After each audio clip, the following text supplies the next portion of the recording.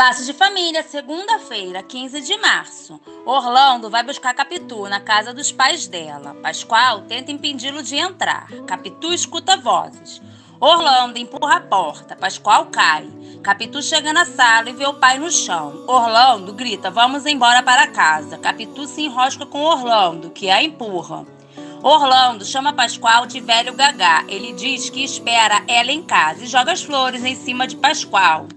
Capitu socorre o pai. Orlando derruba Bira. Quase também derruba Ofélia Onofre. Orlando diz que se continuar assim terá que fazer um assassinato em massa. Capitu e os amigos acalmam Pascoal. Ofélia anima Emma. Capitu chora. Marta e Socorro fazem as contas para a festa de Severino. Pedro passa e não nota Iris. Ela vai e olha as fotos da casa que ele comprou. Pedro dá carinho ao vilão e Cintia diz que quer salvar o cavalo. Cintia alerta Pedro. Iris não é mais uma criança, mas uma mulher sensual e veio atrás dessa paixão por você. Pedro diz: Iris é uma peste e uma peste é sempre uma peste. Miguel lembra das palavras de Raquel. Cissa entra e pergunta se na folga de Ana ela pode ficar sendo gerente no lugar dela. Ivete diz que Helena tem que contar logo a verdade para Miguel. Simone se oferece para Orlando, enquanto ele fala mal de Capitu e a família. Simone pergunta o que Capitu tem que ela não tem. Orlando diz que Capitu tem que voltar para casa, nem que seja pelos cabelos. Capitu chora. Camila pede para Helena guardar as joias que estão no apartamento dela e Edu dá as chaves do apartamento a Helena. Está tudo armado para a festa de Severino. Alex vai à casa de Cíntia com Ana. Cíntia convida a família para ir à festa de Severino. Ana e Alex resolvem ir. Fred brinca com a filha e ignora a Clara. Helena vai ao apartamento de Camila, olha alguns brinquedos que seria do neto e chora. Capitu chega em casa. Simone diz que Orlando está soltando fogo pelas ventas e Capitu diz que ele agrediu seu pai.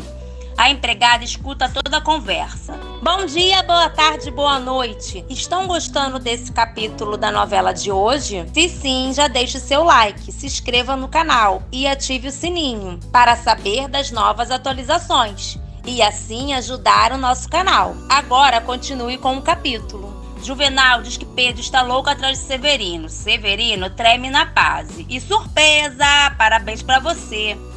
Cíntia vai buscar Pedro para a festa. Helena pensa nas palavras de Pedro e resolve ligar para Miguel.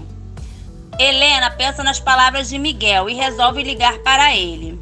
Chorando, ela pede que ele vá à casa de Camila. Pedro chega na festa e Severino já dá explicações, com medo do xerife, mas Pedro lhe dá um abraço. Orlando surpreende Capitu arrumando suas malas. Miguel vai ao encontro de Helena. Orlando pergunta a Capitu se está achando que ele é palhaço. Capitu e Orlando discutem e diz que ela não a conhece. Capitu diz que odeia ele, joga as coisas em cima dele, que tenta agarrá-la. Capitu o manda para o inferno. Cíntia diz que Alex canta muito bem. Socorro se preocupa com Iris, que está com ciúmes de Pedro. Helena conversa com Miguel e chama para ir ao quarto, que seria do neto.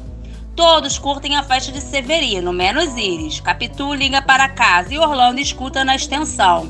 Pascoal quer que ela vá imediatamente para casa e diz que Fred a procurou.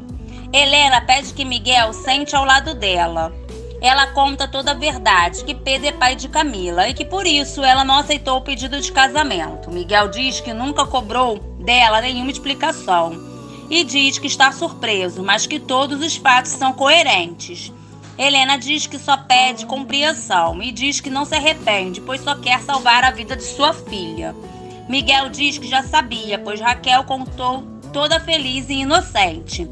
Helena fica surpresa. O celular de Helena toca é Camila, achando estranho que a mãe ainda está no seu apartamento.